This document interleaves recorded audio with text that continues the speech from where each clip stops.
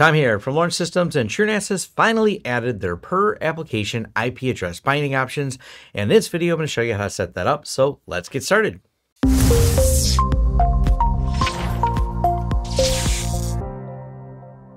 Now, I'm running the latest version of TrueNAS 25.041, latest available here in June of 2025. Yes, it says there's an update available. That's a bug I haven't fixed. They're aware that's been reported. This should also work, and you can refer to their documentation. You'll also find a link down below that it works in the version 24.10 latest as well. Now, the first place we want to go is to networking, and you'll see I have a few of these interfaces set up. I don't have any IPs on these, but if I were to add any IP addresses to these interfaces, they would also be added to that list. So this is the main interface right here, and it has a VLAN 10 attached to it. Now, no matter what type of interface, they have to be set up here first in order to work. So let's go ahead and add another interface. I want to add another VLAN to walk you through the process. It'll be VLAN 1337, my lab network.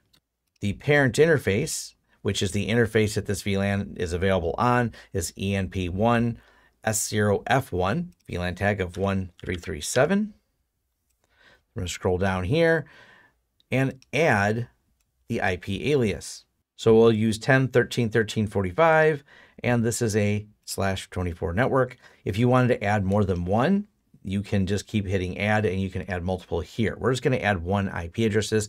Please make sure that this IP address is available. Ping it on your network before you assign it. Because if you assign it to something that's already assigned, well, you'll have a conflict and some problems. We're going to hit save. We'll go ahead and test these changes, confirm, test changes. And then save the changes because they appear to work.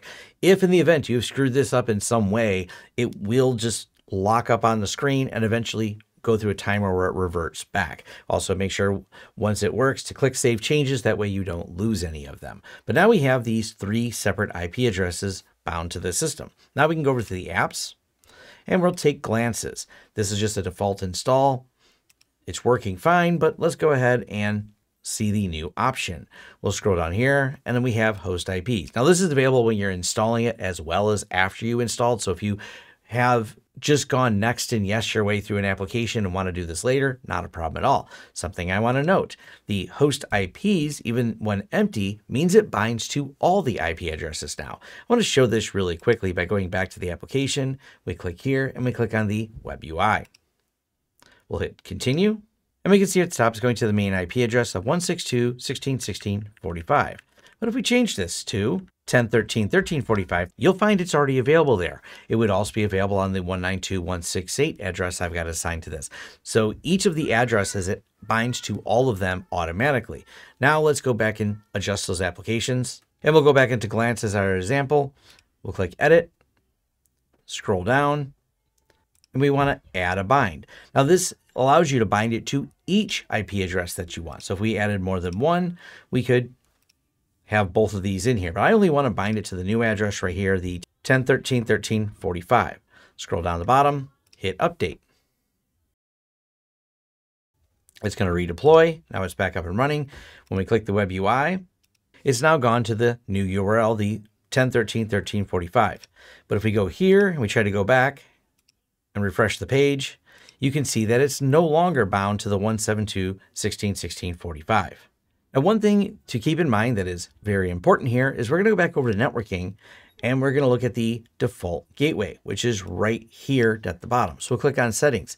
There is only one default gateway. So no matter which other IPs I assign to this, it always goes out the default gateway. So you can bind them to the other IP addresses, but in terms of this application, when it reaches out to the internet, it's going to be polling via the default gateway and therefore also the default IP address of the system. And in the case of this system, it is the 172.16.16.45. So this does not change how the backend routing work. It only changes which interfaces that the application is bound to. Something to keep in mind if you're worried about it reaching out and reaching out via your public IP address if you don't have any extra routing parameters on there. Just something to keep in mind. As I demonstrated in the video, it's easy to do as long as you have kept your system up to date as noted in the TrueNAS documentation that you'll find linked down below. If you've got thoughts, questions, or different takes about today's topic, drop them in the comments below. I always enjoy hearing and learning from all of you. Like and subscribe. If you're looking to connect with me or learn more about what services we offer, head over to lawrencesystems.com. You'll find links to all my socials and just more ways to connect. Thanks for watching Take care. Check out my TrueNAS playlist, which you'll find linked somewhere around here.